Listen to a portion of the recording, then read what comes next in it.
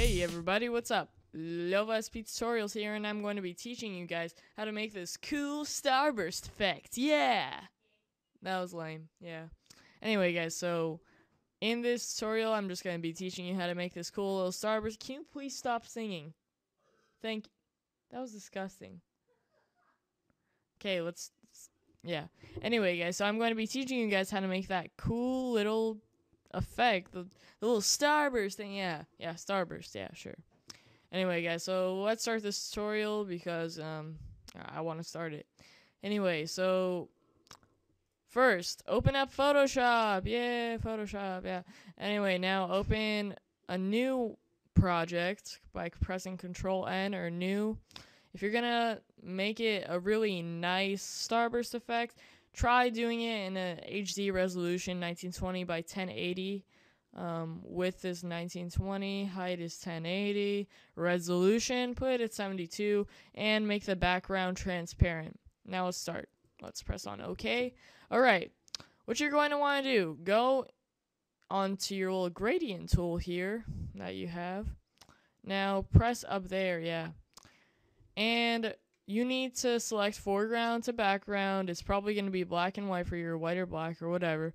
Um, what you need to do, you need to press right here, pick a light color. I already have mine picked. And go right here and pick a dark color, a darker color. Yeah. Anyway, so then you just press on OK. It's selected. Now hold down Shift and like just go down with your mouse. Just scroll down with your left click and scroll down, okay? That's as easy as I'm going to make it. Now you have this little gradient here. What you're want go what you're going sorry about that. What you're going to want to do is press on filter and then press on distort. And then after pressing that, press on wave. Cause wave is cool. Cause waves are yeah, waves are yeah. Ah crap, I pressed on twirl. Right now, distort, wave, Okay. So pretty much copy everything that I have right here because these are pretty much the perfect settings. Uh, media uh, number of generators should be 299 if you want to, you know, really precise.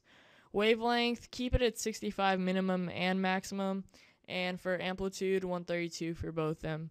And don't do anything to your scale because it's going to be at 100% for both horizontal and vertical. But um, if that's changed, then just change it up. Keep the type at sine and repeat edge pixels. Now let's press on OK. Whoa, now we have this cool stripe effect. Yeah. Five stars for, or, I forgot. YouTube doesn't have five stars anymore. Now it's like like and dislike. So like this if you like stripes. Yeah? No? I don't know. Anyway, guys, so um, you're gonna want to press on distort again. Yeah, go up to filter and then distort once again. Now you're gonna want to press here to polar coordinates. Okay. Now you got a little cool little starburst effect.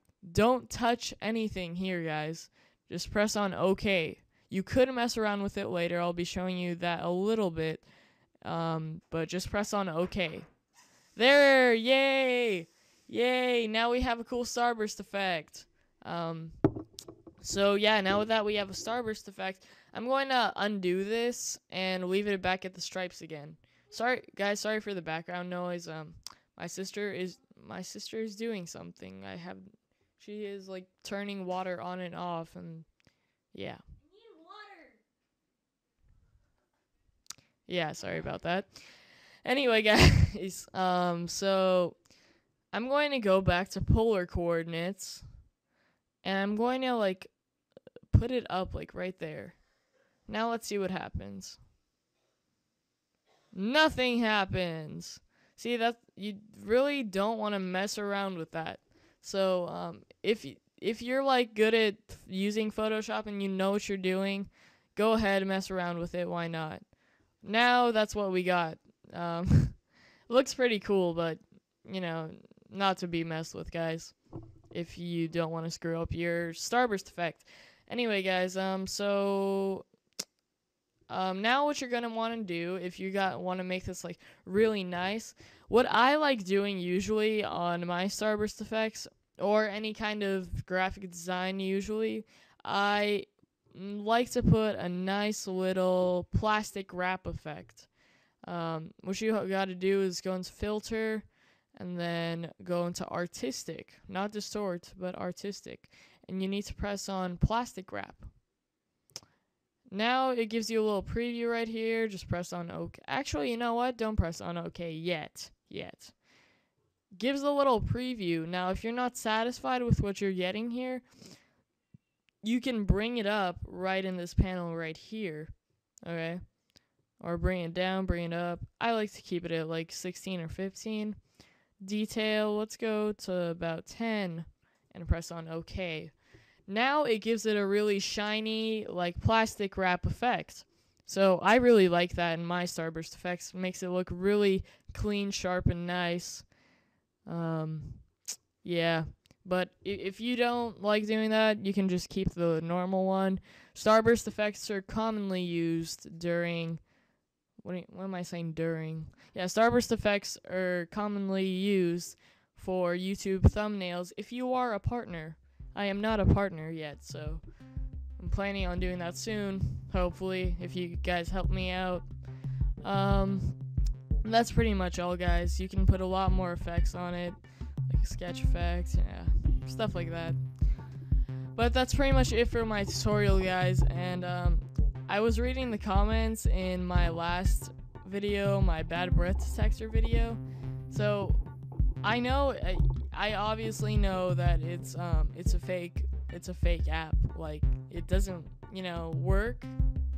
I guess to detect your breath because the iPhone can't do that, guys. So thank you for all the hate comments. I appreciate that you're doing that.